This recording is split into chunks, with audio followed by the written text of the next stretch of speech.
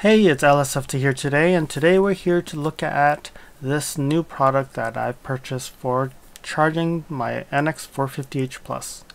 So recently in my video about my second month ownership, I've talked about um, charging my, my, my car within 6 hours rather than the 12 hours. So this device here really consists of two plugs and one red plug like socket that allows you to plug in the EVSE that is provided by Lexus so that you can actually charge it at 240 volts.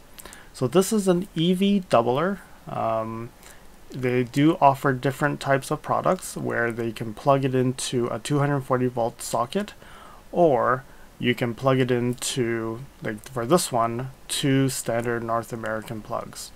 So you see there it says caution, this 240 volt outlet, and it, and you can see that they, they have these two North American three prong plugs that is supposed to be plugged into two different sockets that are on different uh, sides of your panel. This is designed for 15 amp plugs and not 20 amp plugs, so you've gotta make sure that you have the correct um, sockets. And again, those two plugs needs to be put into different circuits uh, on your panel. They also come with this outlet tester, and um, if you plug it in into the red socket, you sh should expect that all three lights are turned on. And you can use this as a normal 120 volt uh, plug tester, and when is when you have the sing the, the middle light on, it means you have an open circuit. If you have um, the, the right light on, then it's an opened uh, return circuit. So there's all these things that you can actually use to test it. But overall, what you need to do is plug it in. Once you have everything plugged in, you will need the three lights to light up so that it can verify that you have 240 volts coming out from that cable. So let's see how this works out.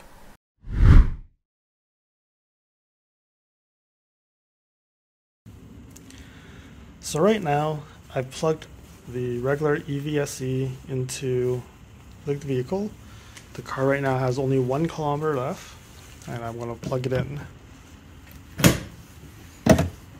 Okay, see the green light? So it is starting to charge. So now I enter the vehicle and waiting for it to show me. Close the door.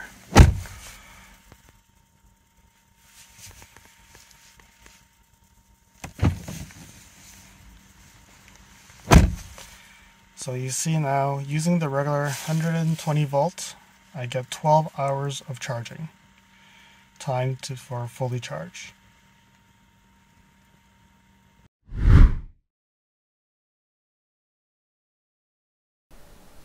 As I mentioned before, you'll need two different plugs that is available in your garage or as an extension cord to another room.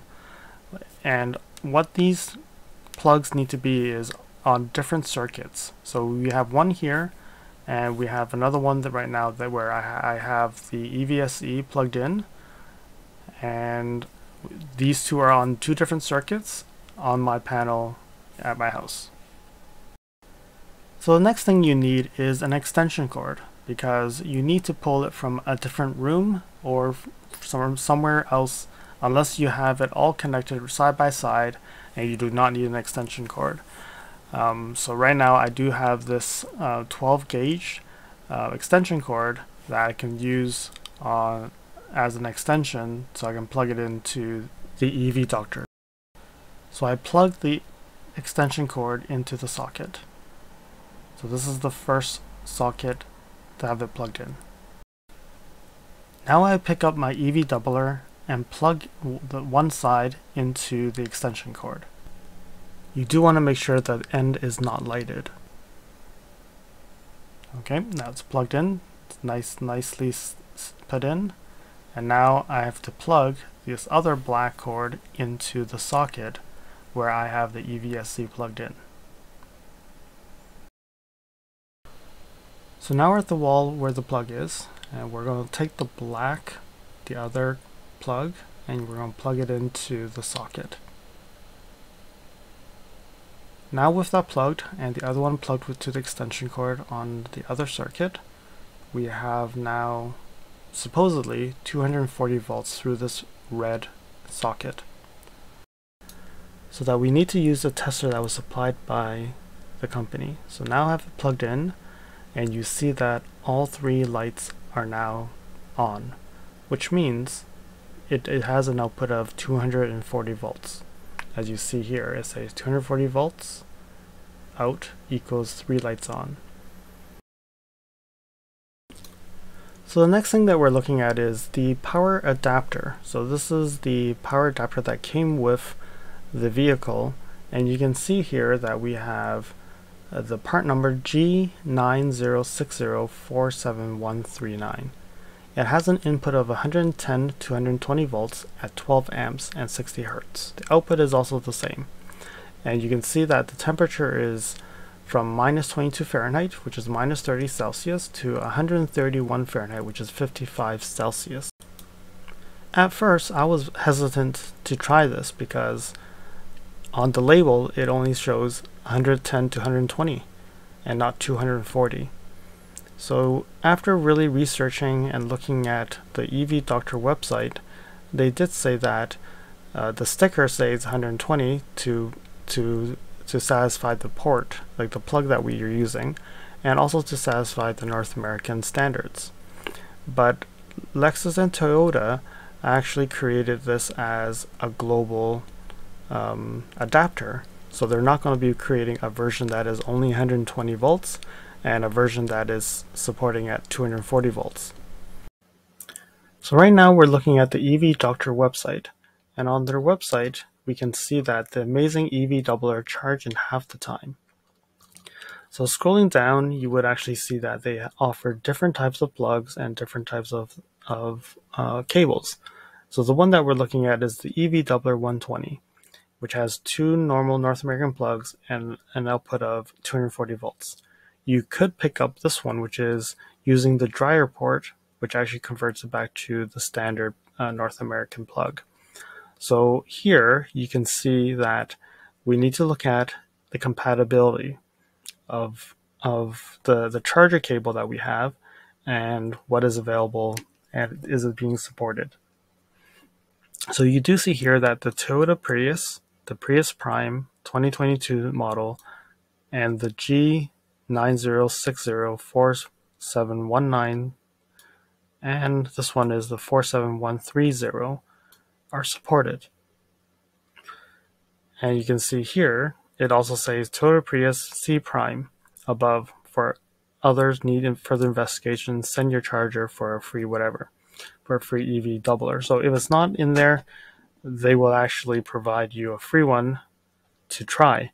But again, you take it at your own risk. So here we can look at, click here for the vehicle and, and the charger compatibility. So we click. So we're, we're, we're here, we're in a Google Docs that's maintained by EV Doubler here, so EV Doctor. And you can see now here it actually has updated. So this is the most updated sheet. Uh, Toyota Lexus the Prius, the Prius Prime, and the RAV4. The 2012 to 2022, these two models are compatible. However, they do say here that these models do like are not compatible. And then we scroll down here, they actually do say that uh, for new 2022 EVs eligible for a free EV doubler program, you could do see that the Lexus UX300E and the 4 NX450H Plus. You check the model. So they didn't say that it's compatible, but I can definitely guarantee that if you do have this part, that my test does show that it works. Before I plug the EVSE into the 240 volt plug, I want to put a disclaimer out there because again, every situation is different and this is really just a video showing my experience on how I got my charging to be faster as Lexus does not support uh, this charging method and we are not held liable for any damages that this may cause So use it at your own risk. Also, I would say make sure you know what you're doing before you do this. So with that out of the way, we've plugged in the EVSE into the red 240 volt socket. So now you see that it is plugged in and that the socket does have the light of the power. So right now I have both plugged in using the EV doctor. And I will go out. And now give it a try and plug it in.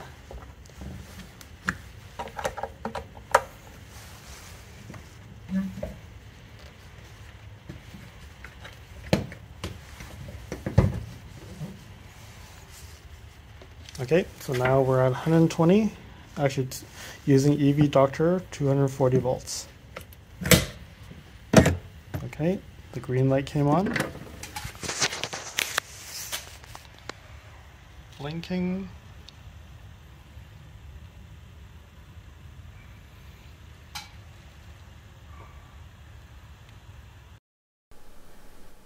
So now we've entered the car and we press yes to start charging. So now charging has start. It says 8 hours and 30 minutes. So it hasn't reduced it by half the time. So let's see what happens. So quickly after charging, uh, plugging it in, I opened the Android app and yes, this is the old version of the mobile app because I took this recording before the new version had come out. So you can see at 8.14 a.m.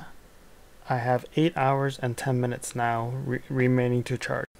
And then on the right side, 5 minutes later, it said 8 hours. And now I have 1.5 kilometers of distance.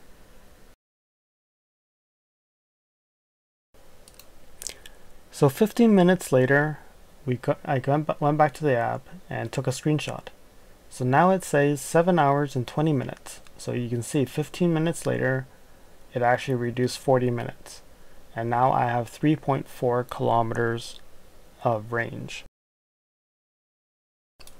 So now 26 minutes later, it has changed to 6 hours and 40 minutes. So another 40 minutes has been reduced and now the range is 8.5 kilometers. I have taken screenshots throughout the process, but I'm not going to bore you with this.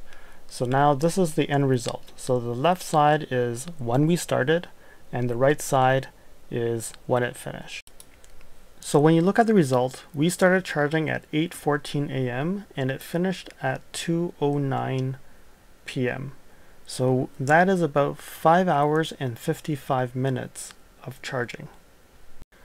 So when you compare that 5 hours and 55 minutes to 8 hours and 10 minutes, that has been a significant reduction. Again, you have to keep in mind that the 8 hours and 10 minutes is just an estimate by the vehicle itself.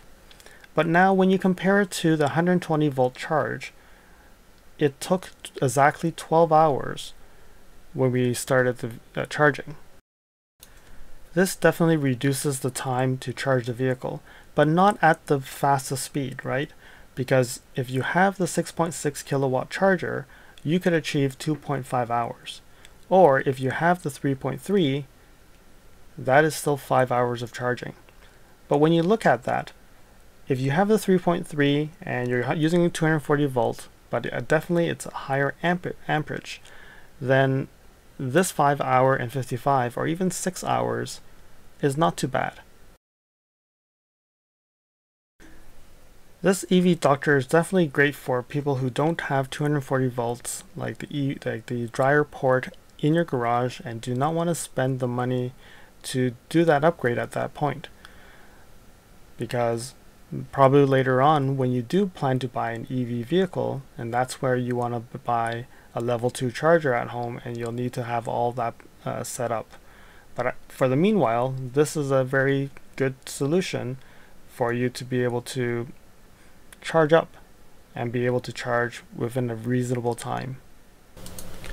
I hope you enjoyed this video. Please remember to comment, like, share, and most importantly, subscribe. You can also press that bell icon to get alerted when new videos are out.